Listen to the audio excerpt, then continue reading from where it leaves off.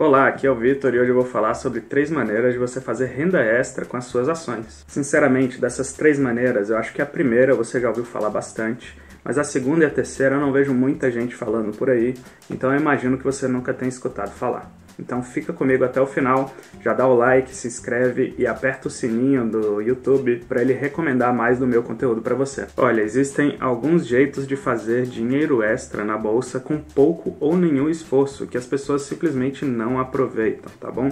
E esse dinheiro pode servir para você aportar na sua carteira, ou para você usar para alguma outra coisa, ou simplesmente para você fazer caixa para ter dinheiro para comprar ações baratas em momentos de crise como o que a gente está passando. Nesse vídeo eu vou te ensinar três dessas maneiras para você parar de deixar dinheiro na mesa e começar a aproveitar todo o potencial que seu patrimônio tem. Então, sem enrolação, vamos direto para o conteúdo. Bom, o primeiro jeito e o mais famoso que todos vocês devem conhecer são os proventos, ou seja, os dividendos ou juros sobre capital próprio. E o que acontece é o seguinte: a empresa vai lá, exerce sua atividade e vai dar um lucro eventualmente. E esse lucro pode acontecer duas coisas com ele.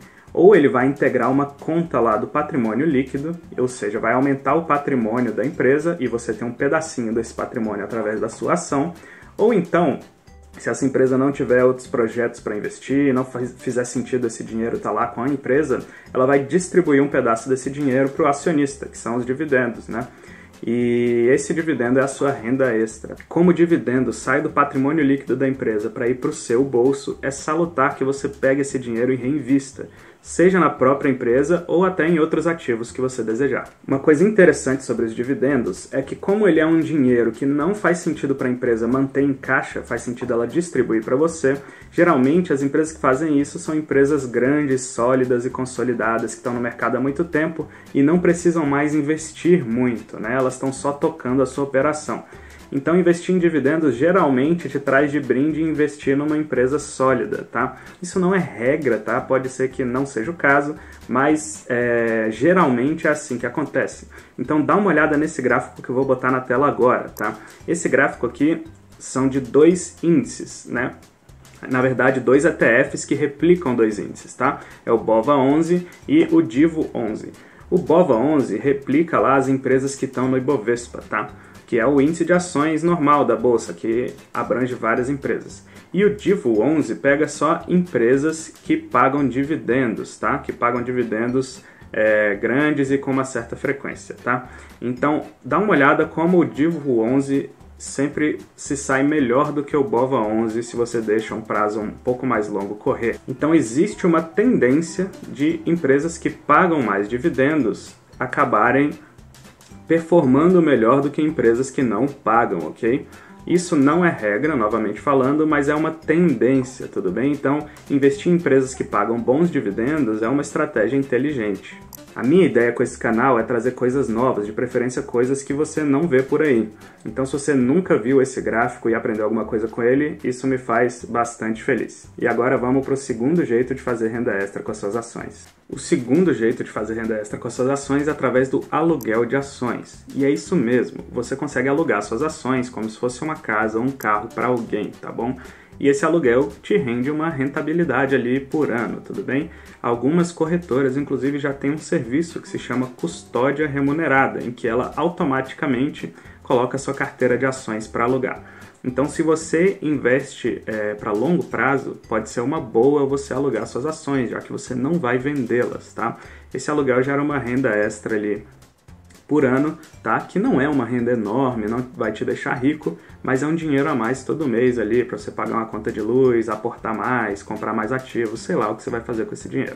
De corretora para corretora, muda o jeito em que você coloca suas ações para alugar. Então conversa lá com seu assessor de investimentos para ver como faz na sua corretora. Além disso, se você for utilizar o serviço de custódia remunerada, a corretora vai te cobrar uma taxa, tá? Geralmente é uma taxa em cima da rentabilidade que você tem. Então consulte e negocie essa taxa com seu assessor também. Quando suas ações estão alugadas, você não pode vender essas ações, tudo bem? Você precisa liquidar o contrato de aluguel antes para depois vender essas ações.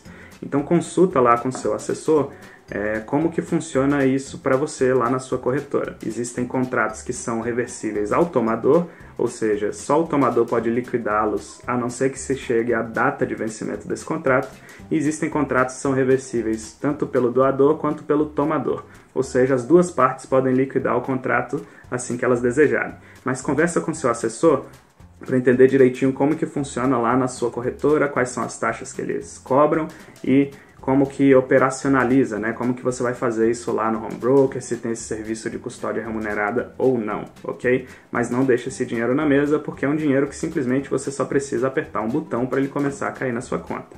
Bom, então esse é um jeito de potencializar seus investimentos. Então você vai continuar ganhando os proventos daquela ação que você tem, vai ganhar a valorização dela com o tempo e vai ganhar lá uma taxinha por ano, né? Que é pequena, mas vai se somando nesses investimentos e vai contribuindo para sua bola de neve crescendo ao longo do tempo. Eu sei que você está pensando, por que alguém iria querer alugar uma ação? E bom, basicamente é para operar vendido no mercado, para ganhar com as quedas. Se você quer que eu faça um vídeo explicando só sobre isso, me deixa saber que você tem interesse escrevendo aqui nos comentários. Se tiver muita gente que tem interesse nesse assunto, eu gravo um vídeo para vocês explicando como que funciona aluguel de ações para quem está tomando as ações e não para quem está doando, como é o que eu estou ensinando para vocês aqui. E o terceiro jeito de fazer renda extra com as suas ações, e que na minha opinião é o melhor jeito, é a venda coberta, tudo bem? Na venda coberta, você é remunerado pelo compromisso de vender as suas ações no futuro, tudo bem? Mas o legal é que você combina o preço, a data e ganha uma remuneração muito gorda por fazer esse compromisso, tá bom? Eu tenho um vídeo só explicando sobre essa operação, é esse vídeo aqui, tá? Eu vou deixar esse vídeo também no primeiro link aqui da descrição para você ir lá e entender como que funciona essa operação. Nesse vídeo eu falo como eu fiz 30% numa carteira de ações em 12 meses só com a venda coberta, sem considerar os dividendos que eu ganhei e todas as vezes que eu vendi uma ação com valorização, tudo bem? Então passa lá e checa esse vídeo que ele tá bem legal. No cenário que a gente está hoje, essas três operações estão pagando muito bem. Quem está comprando ações agora que os preços estão bem baixos, né? Vai provavelmente receber um dividendo muito alto, simplesmente porque está comprando as ações a preços baixos. Quem está alugando ações nesse momento provavelmente está recebendo uma taxa muito alta, porque as pessoas estão com medo de uma recessão, então elas começam a alugar muitas ações e a taxa acaba subindo muito. No caso da venda coberta é a mesma coisa, as ações estão muito baratas e as opções estão caríssimas por causa da volatilidade alta dos últimos dias. Então, quem está comprando ações e fazendo a venda coberta está recebendo taxas generosíssimas por essa operação. Então vamos lá, se você tem amigos que têm ações, muito provavelmente eles não conhecem pelo menos dois desses três jeitos de fazer renda extra com as ações dele. Então já pega esse vídeo, clica aqui no compartilhar e manda esse vídeo lá para ele por WhatsApp para ele poder conhecer esse jeito novo de fazer renda extra com as ações, beleza? No mais, não se esqueça de dar o seu like, se inscrever e clicar no sininho para o YouTube recomendar mais do meu vídeo para você, ok? A gente se vê no próximo vídeo, grande abraço!